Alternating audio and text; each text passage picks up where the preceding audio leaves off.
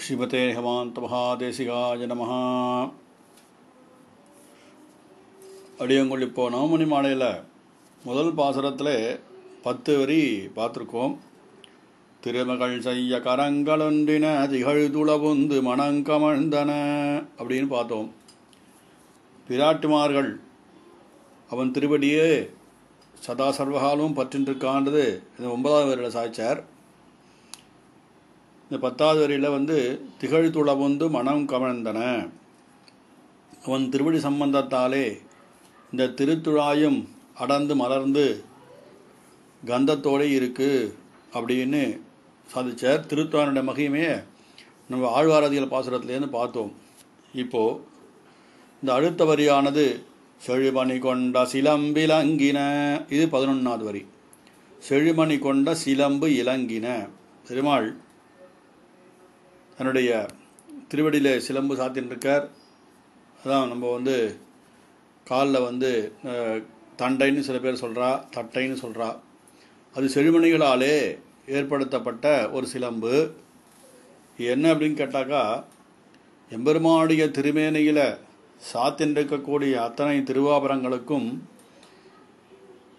இந்த திருவடியே ஒரு பிரகாசத்தை கொடுக்கிறது. அதாவது திருவாவரணங்களுக்கும் இந்த ஒரு சோபையை இந்த திருவடி கொடுக்கிறதுன்னு இங்கே வியாக்கியானம் பண்ணுறா சிலம்பிலங்கின சிலம்பு இலங்கினன்னு போட்டிருக்கார். இந்த சிலம்புகள் செழுமணிகளாலே செழுமணிகள் முத்து பவழம் ரத்தன கற்களாலே இழைக்கப்பட்டிருந்தாலும் அது எம்பெருமானுடைய திருவடியிலே போய் ஸ்பரிசித்து சேரும்போதுதான் அதற்கே பிரகாசம் ஏற்படுறது. ஏன்னா இந்த மணி மாணிக்கம் அப்புறம் வைடம் வைடூரியம் எல்லாத்தையும் படைச்சது இந்த எம்பெருமான் தான். அதனாலே இவைகள் போல் பெருமாளுடைய அது இயற்கையாகவே வந்து சில அதனுடைய விசேஷத்தாலே பிரகாசத்தை ஏற்படுத்தினாலும் அந்த பிரகாசங்கள் எம்பெருமான திருவடிகளை பிரகாசத்தை விட கம்மியாக தான் இருக்குது எம்பெருமான திருவடி சம்பந்தத்தால் இன்னும் பிரகாசிக்கிறது. எம்பெருமான திருவடி சேர்த்தியினாலே அதிக சோபையை கொடுக்கிறதுன்னு சொல்கிறாங்க பெருமாள் எதுக்கு சிலம்பு சாதிக்கிறார் அப்படின்னா ஒவ்வொரு ஒவ்வொரு விபவாவதாரத்தில் போய் நம்ம பெருமாளை இப்போ ராமாவதாரத்துலேயோ கிருஷ்ணாவதாரத்துலேயோ வாமனனாவோ நிசும்மனாவோ வந்த பெருமாளை நம்ம இப்போ போய் செவிக்க முடியாது. கலியுகத்திலே அர்ச்சாமூர்த்தியாக பெருமாள் இங்கே எழுந்திருக்கார். அதனால பெருமாளுக்கு இப்படி ஒரு திருக்கோலம் ஒரு ஒரு சாத்துப்படி சாத்தி நம்ம பெருமாளை சேவிக்கணும்னா ஆஸ்திகாள் தங்கள் வசதிக்கேற்ப சில பேர் புஷ்பத்தை கொடுக்குறா சில பேர் வஸ்திரம் கொடுக்குறா சில பேர் திருவாழி திருச்சங்குக்கு நல்லா வைர வைடூரங்கள் பதிச்சு கொடுக்குறா சில பேர் திருவடி கொடுக்குறா சில பேர் திருவடியில் சாத்திர தண்டை கொடுக்குறா சில பேர் வில் வாழ் கதை சாவி கொத்து இது மாதிரி பெருமாளுக்கு நிறைய சாத்திரா தன் அபிமானத்தாலே சாத்திரா சில பேர் மாணிக்க ஒட்டியானம் பண்ணி போடுறா திருமாப்பிளே பக்ஷஸ்தலத்தில் பிராட்டி பிராட்டி ஒரு டாலர் மாதிரி வாங்கி பெருமாளுக்கு சமர்ப்பித்து இதெல்லாம் இந்த அர்ச்சாமூர்த்திக்கு தாங்கள் சமர்ப்பணையாக சமர்ப்பித்து இதை பெருமாளை சாத்தின்னு இருக்கும்போது அந்த பெருமாளை உற்சவாதிகளில் சேர்க்கணும்ன்ட்டு இருந்த ஆஸ்திக ஆசிரியர்கள் விரும்புகிறா இப்படியானது இவாழ இவாளால் சமர்ப்பி சமர்ப்பிக்கப்பட்ட பல்வேறு காலங்களிலே பக்தியினாலே சமர்ப்பிட்டு சமர்ப்பி சமர்ப்பிக்கப்பட்ட அத்தனை வஸ்துக்களும் பெருமாள் திருமேனி அலங்கரிக்கிறது. இவன் சில சமயம் சாதிக்க மாட்டான்.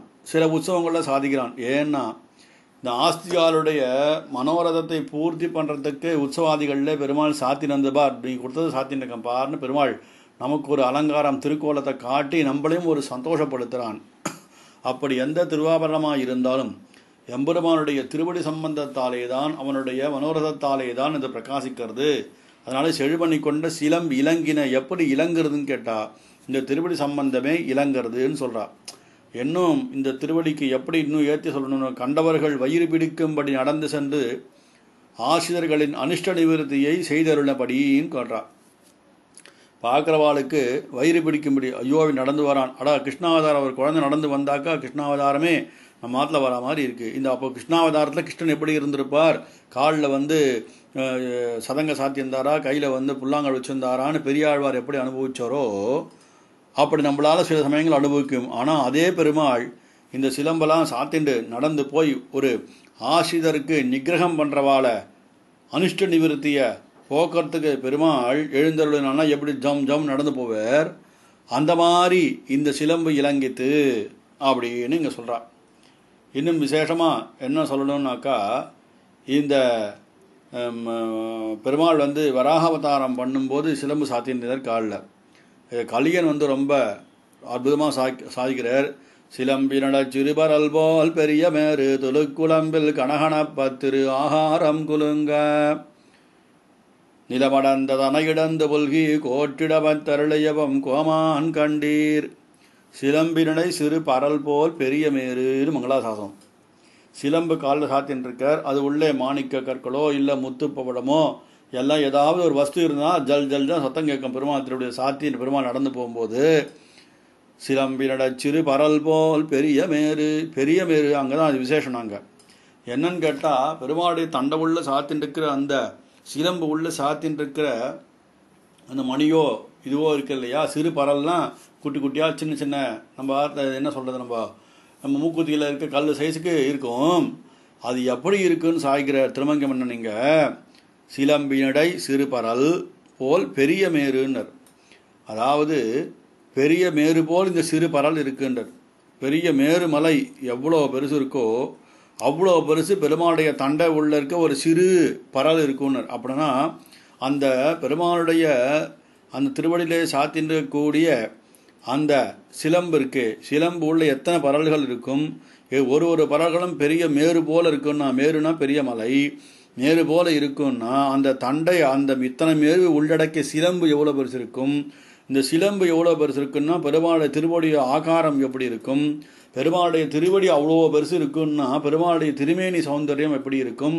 பெருமாளுடைய திருமேனி வளர்ச்சி எப்படி இருக்கும்? பெருமாளுடைய திருமேனி அளவிட்டு சொல்ல முடியாத அளவு பெருசாக இருந்துதான் இந்த மகாவராக அவதாரம். அந்த ஒரு அவதாரத்துக்கு மட்டும்தான் மகாவராக அவதாரம்னு பேர். அந்த மாதிரி பெருமாள் சாத்தின்றிருக்கான் ஏன்னா அவதாரம் பண்ணி பூமியை கீழே மேலே கொண்டு வந்து பிராட்டி எடுத்துன்னு வரதுக்கோசம் பெருமாள் அப்படி ஒரு அவதாரம் பண்ணி நமக்கு கொடுத்தார். அப்போன்னா எவ்வளோ பெருமாள் எவ்வளோ சந்தோஷத்தோடு அதை சாத்திட்டு போயிட்டு வந்திருக்கார் பாருங்கோ. அந்த சிலம்பினுடைய இருக்கு சிலம்பினுடைய இடையில் இருக்கக்கூடிய அந்த சிறு பறவைகளும் பெரிய மேறு போல இருக்குன்னா பெருமாளுடைய விஸ்தீர்ணமான ஆகாரம் என்னன்னு நமக்கு தெரியணும் அப்படி பெருமாள் ஒரு வந்து செழுமணி கொண்ட சிலம்பிலங்கின பார்க்குறவா சில பேருக்கு பெருமாளை பக்தியோடு பார்க்குறவாளுக்கு அது ரம்யமாக கேட்கறது. இல்லை பெருமாளை விரோதிச்சுண்டு பெருமாளுடைய பக்தாவை விரோதிச்சுண்டு பார்க்குறவாளுக்கு அது வயிற்ற கலக்கிறது தான் அது. வயிறு பிடிக்கும்படி நடந்து சென்று ஆசிரியர்களின் அனிஷ்ட நிவர்த்தியை செய்தருளபடின்னு சாய்க்கிறாங்க. சுவாமி தேசிகன் தெய்வநாயக பஞ்சாசத்தை ரொம்ப அழகாக சாதிக்கிறார். சித்திரம் தொதிய பத பத்ம பராக யோகாது யோகம் வினா பியுகபத் விலயம் பிரயாந்தி. அப்படின்னர். எம்பெருமான் எம்பெருமானுடைய திருத்தாமரை இந்த பிரகாசத்தின் சம்பந்தத்தாலே ஒரே ஒரு தடவையிலே இவாளுடைய ஆசிதால் பண்ண பாபம் விநாசத்தை அடைகிறது நாசமாக நாசமாகிறதுன்னு போறார் இவாளுடைய பாபம் மொத்தம் ஒழிஞ்சுது. சித்திரம் தொதீய பத பத்ம பராகயோகாத்யுகம் வினா பியுகபத் விலயம் பிரயாந்தி. அடுத்தது இன்னொன்றுன்னா இந்த பிரம்மன் எழுதினானே நம்ம பேரில் ஒரு எழுத்து. அந்த எழுத்து எல்லாம் கட்டெழுத்தா போய் எல்லாரும் வந்து பெருமாளுடைய சிவவைஷ்ணவாலாயிட்டான்னு சொல்ல இருந்தட்ல விஸ்வஞ்சனிஜரபத சிரசி பிரஜானாம் வேதேஸ்வரஸ்வதி கீதானி துராட்சராணி அதாவது எங்கும் பறந்து ஜனங்களுடைய தலையில பிரம்மன் கெட்ட எழுத்து எழுதியிருக்கானே அது பெருமாளுடைய திருவிடி சம்பந்தத்தாலே மறைஞ்சு போய் இவாளுக்கு நல்ல சுகிருதத்தை கொடுக்கறதுன்னு சாய்க்கிறார். இன்னொன்று ரொம்ப அற்புதமான ஒரு வியாக்கியானம். தன்னுடைய பாததூளியின் சம்பந்தத்தாலே சகல பாவங்களும் க்ஷணகாலத்திற்குள் போக்கடிக்கும் தன்மையை அருளில் செய்கிறார் சுவாமி தேசிகன். இங்க விஷயம். அதாவது எம்பெருமானிய திருவடி இந்த பாத தூளி இல்லை அந்த பாத தூளி படுதலால் இவ்வுலகம் பாக்கியம் செய்ததே அப்படின்னு பெரியாழ்வா சாதிச்சார். அந்த பாசுரத்துக்கு அர்த்தாவிசேஷமாக இங்கே சுவாமி தேசிகன் என்ன சாதிக்கிறார்னா தன்னுடைய பாததூளிகளின் ஸ்பரிசத்தாலே சம்பந்தத்தாலே இந்த ஜீவாத்மா பண்ண அத்தனை பாபங்களும் ஒரு க்ஷணத்துக்குள்ள போக்கடிக்கும் தன்மையை இங்கே சுவாமி தேசிகன் சொல்கிறான்னு இங்கே வியாக்கியாதா சாய்கிறார். அதாவது இந்த கடல் திருவள்ளியில் சாத்தென்றிருக்கிற இந்த செழுமணி சிலம்பது கடல்கள் சதங்கை கலந்தங்கு மார்ப அப்படின்னு பெரியாழ்வார் மங்களாசாசனம். சிலம்பும் செரிகடலும் சென்றிதைப்ப விண்ணார் அலம்பிய சேவடி போய் அண்டம் புலம்பியதோள் அப்படின்னு இன்னொரு ஆழ்வா சாதிக்கிறார் சிலம்பும் செறி கடலும் சென்று இசைப்ப விண்ணாரளம்பிய சேவடி போய் அண்டம் புலம்பியதோள் எண்டிசையும் சூட இடம் போதாதெங்கொலோ வண்டுழாய் மாலளந்தமன் இனிமே அளக்கிறதுக்கு ஒண்ணுமே இல்லை இந்த திருவடியாலேன்னு சொல்லிட்டு இந்த இடத்துல திருப்பி வந்து இந்த வாமனாவதாரத்தை எடுக்கிறாருங்க அப்படியாகப்பட்ட இப்படிப்பட்ட இப்படிப்பட்ட சிலம்ப சாத்திண்டு செழுமணி கொண்ட சிலம்ப சாத்திண்டு பெருமாள் லோகத்தை அளந்தான். அப்படியே இங்கே அரசையிலே தெய்வநாயகனாயும் அப்படியே சிலம்பு சாத்திண்டு இங்கே செவ சாதிக்கிறான். அது இளங்கினேன்னா எப்போ எதனாலே இந்த சிலம்புக்கு ஒரு போக்கியத்துவம் அப்படின்னு கேட்டாக்கா எம்பெருமாடைய திருவடி சம்பந்தத்தாலே அப்படின்றது இங்கே சுவாமி தேசிகன் திருவுள்ளமாறுது இப்போ நம்ம அடுத்த வரியை இப்போ மேலே கொண்டு செழிப்போம் முடியன் சிலதனிலன்றோர் அணங்குமிழ்ந்தன சிலைதனில் அன்று ஓர் அணங்குமிழ்ந்தன. இந்த இங்கே வந்து அகலிகை சாபத்தை சாய்கிறார்.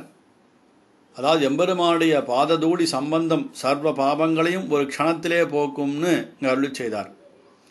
ஆனால் இந்த அதிரூபவதியாக இருந்த இந்த அகலிகை இருக்காலே தன் பர்த்தாவிடப்பட்ட ஒரு அபச்சாரத்தின் காரணமாக அவளை வந்து அந்த ரிஷி கௌதம ரிஷி சபிச்சுடுறார் கல்லாப்போன்னு சபிச்சுடுறார். அவள் எப்படி திரும்பி திரும்பி ரூபவதியாக வந்தா அப்படின்னாக்கா ராவனுடைய திருவடி சம்பந்தத்தாலே வந்தா. இயற்கையிலே இயற்கையாகவே அதிக சௌந்தர்யமும் ரூபவ ரூபவதியான குணமும் உள்ள அகலிகை. இந்த ஸ்ரீ ராமச்சந்திரமூர்த்தி சக்கரவர்த்தி திருவனுடைய திருவடி இந்த பாததூளி சம்பந்தத்தாலே அதை பெற்ற பிறகு இவள் முன்னிலும் அதிக சௌந்தர்யமாய் விளங்கினாள் அப்படின்னு வியாக்கியானம். அப்போன்னா இந்த திருவடி வந்து என்ன கொடுக்குறதுன்னா சௌந்தர்ய லாவண்யத்தையும் இந்த திருவடி சம்பந்தம் கொடுக்கறதுன்னு சொல்கிறார் அதுதான் சுவாமி நிகமாந்த மகாதேசிகன் இதில் சாய்ச்சர் மகாவீர வைபவத்தில்.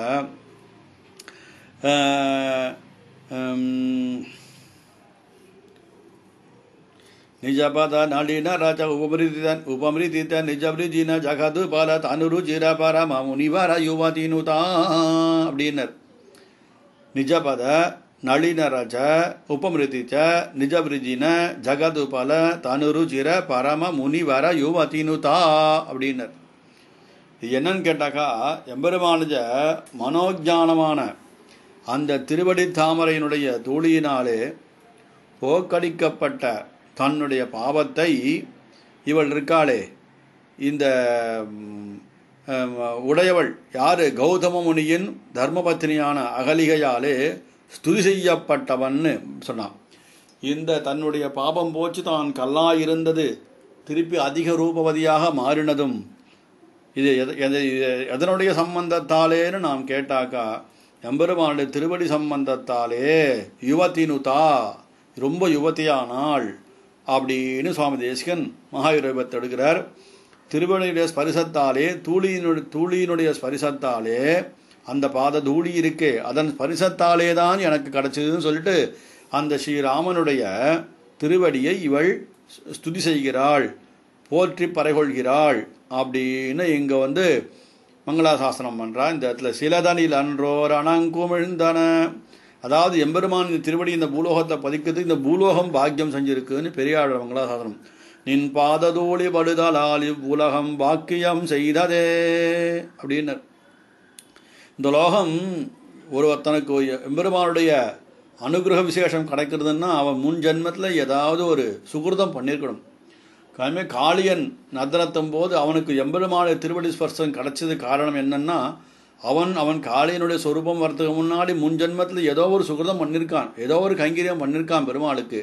அந்த விசேஷத்தினாலே எல்லா ஒரு நல்ல ஆச்சாரியன் அவனுக்கு அனுகிரகம் பண்ணியிருக்கணும் அந்த விசேஷத்தாலே இவன் கிருஷ்ணாவதாரத்திலே துவாபரகத்திலே கிருஷ்ணாவதாரத்திலே எம்பெருமானுடைய திருவடியே சாட்சாத்தாக படும்படியாக ஒரு பாக்கியம் கிடைச்சிது. அந்த மாதிரி இங்கே இந்த ஜனங்க இந்த அகலிகைக்கு ஏதோ ஒரு கௌதம ரிஷிக்கு இவள் பண்ண அந்த கைங்கரியத்தின் பலனாக எம்பெருமானே ராமாவதாரத்தும் போது நடந்து வந்த தன் திருவடியாலே அவளை திருப்பி பெண்ணாக மாற்றினார். அப்பேற்பட்ட திருவடி யாருடைய திருவடின்னு சுவாமி தேசன் இங்கே சாதிக்கிறார்னு கேட்டாக்கா அது திருவைந்தமானர்களை அச்சாமூர்த்தி எழுந்திருக்கிற அந்த தெய்வநாயகருடைய திருவடி. அதுதான் சிறதாரியில் அன்றோர் அணங்குமிழ்ந்தன. அப்படின்னு இங்கே அந்த ரெண்டு வரைக்கும் ரொம்ப விஸ்தாரமாக சுவாமி தேசிகன் இங்கே வியாக்கியானம் பண்ணுறார் ராமாயண ஸ்லோகம் நிறையா இருக்குது இந்த இடத்துல சொல்கிறதுக்கு இந்த அந்த கொடுத்த அவகாசம் ரொம்ப ஜாஸ்தியாக போடுன்ட்டு அடியன் இதை சுருக்கமாக முடிச்சுக்கிறேன்.